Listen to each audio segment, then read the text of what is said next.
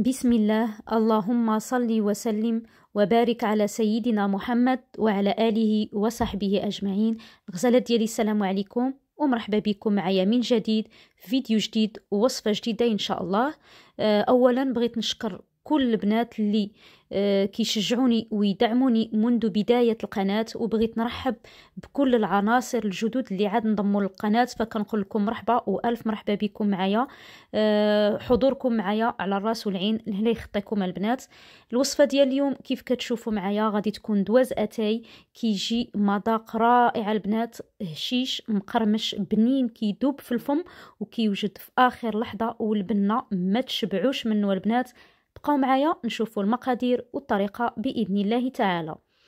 بسم الله. بالنسبة للمقادير اللي غادي نحتاجو في هاد الدواساتاي عندي نص كاس نصف كأس من السكر ثقيل أو سكر glacé نص كاس ديال اللوز مطحون خضر نص كاس من الزلجلان أو السمسم مطحون كذلك خضر ونص كاس من الكوك. أنا استعملت هاد الكوك اللي كيكون رقيق بزاف محمر.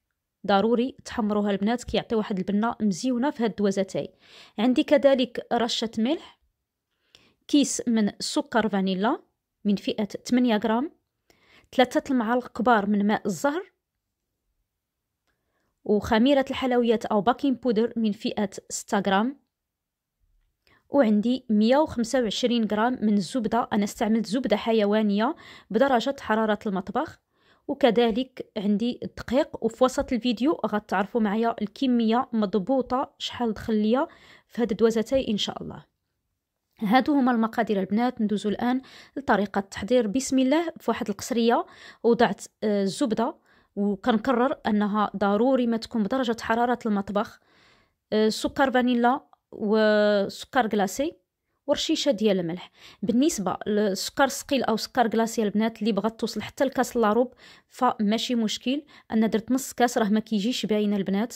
يعني تقدروا توصلوا حتى لكاس لاروب ماشي مشكل.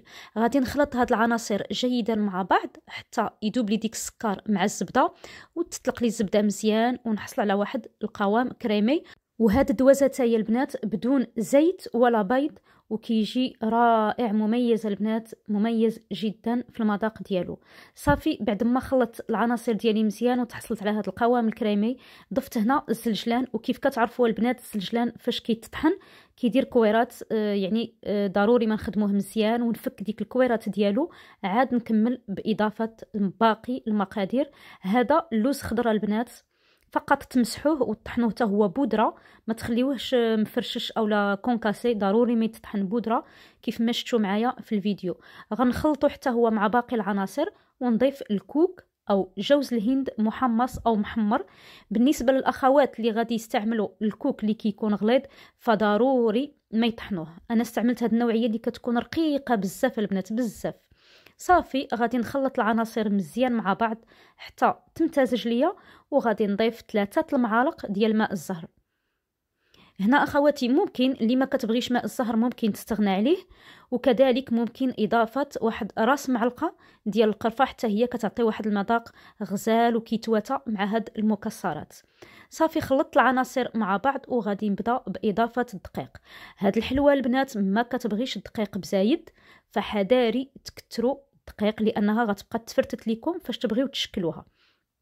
كيف ما شفتوا معايا آه خويت واحد الكمية بسيطة من الدقيق ومن بعد ضفت خميرة الحلويات 6 غرام وكنستمر هكايا كنجمع الخليط ديالي وأنا عيني ميزاني حتى نتحصل على القوام المطلوب في العجين.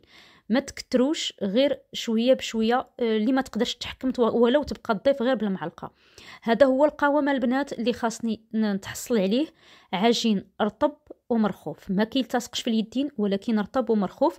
شوفوا معايا كنحاول آه يعني نوصل لكم الصورة أكثر من خلال الفيديو. ما بغيتش نزرب هاد اللقطة هادي باش تشوفوا معايا مزيان. شوفوا هنا كنحاول نشكل كويرة. يعني راها كتشكل لي بكل سهولة وفي نفس الوقت ماشي ناشفة.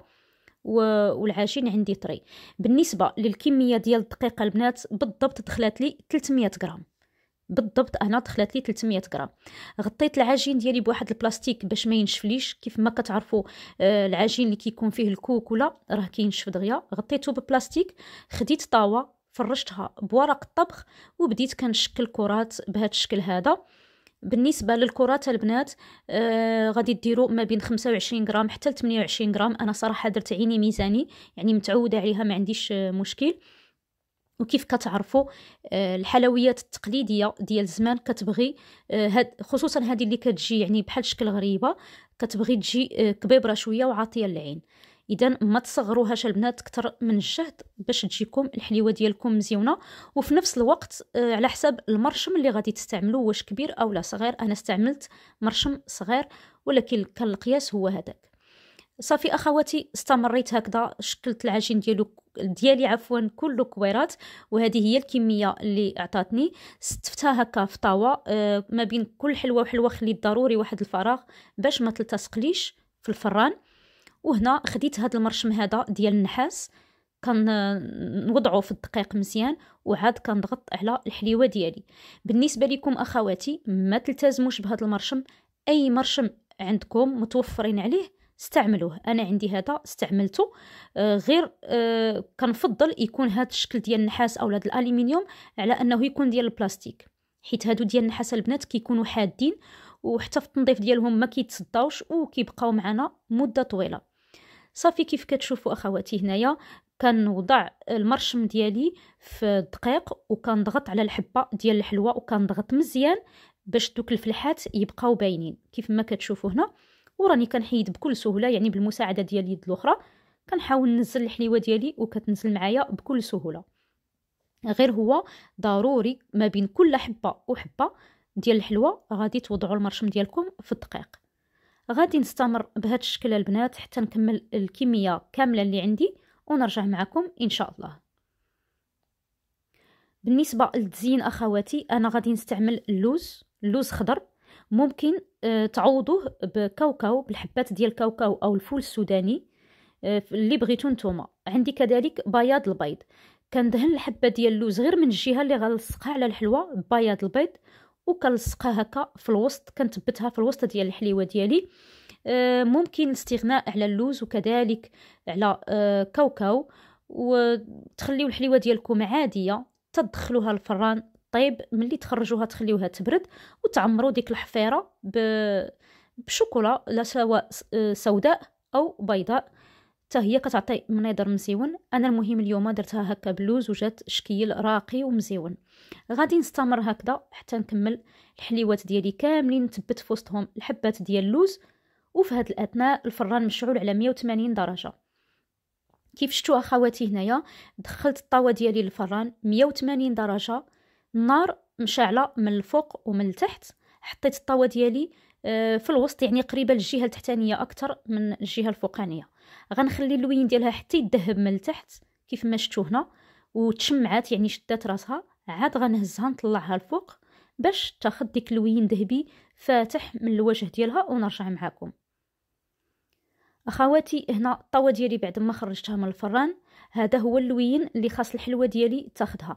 ما تفوتوش 170 180 درجة. اللي عندها الفران مجهد بزاف دير غير 170 وتخليها طيب على خاطر خاطرها. يعني ما تفوتوش فيها الطياب وهذه هي التحميرة ديالها. أكثر من هذا الشيء لا البنات. لوين ذهبي؟ فاتح. خليت الحليوة ديالي بردات في الطاوة ودرت آه سكر ثقيل أو سكر كلاصي في واحد الصفاية وكنحاول نرش واحد الرشيشة خفيفة كتعطيها واحد الجمالية آه زوينة. اللي ما بغاتش دير هاد الخطوة بلاش تخليها عادية كذلك كتجي زوينة. أخواتي هذا هو الشكل النهائي ديال الحليوة ديالي. بعد ما وضعتها في صحن التقديم حليوة اللي بمقادير بسيطة وبطريقة مبسطة كذلك وما كتاخدش منا وقت اللي كتوجد بسرعة كتجي راقية لا في الشكل ديالها ولا المذاق ديالها كيجي رائع وتخيلوا معايا نتوما أي حلوة فيها المكسرات كيف كتجي. شي حاجة روعة البنات ما تشبعوش منها. مقرمشة وفي نفس الوقت هشيشة ومرملة وكتذوب في الفم. صراحة بغيتكم تجربوها البنات جربوها وخليوا لي رأيكم في التعليقات. حليوة سهلة مهلة وبسرعة ولكن في نفس الوقت رائعة ومميزة. شوفوا معايا هنايا آه كتجي هشيشة بزاف بزاف بزاف. أخواتي إلى عجبكم الفيديو واستفدتوا منه ما تنسونيش من لايكاتكم. الله يجازيكم بخير. تعليقاتكم طيبة ولو دعوة خير. تعليقاتكم كتزيدني دفعة للأمام. إلى هنا غنقول لكم بسلامة ومع السلامة فيديو آخر إن شاء الله.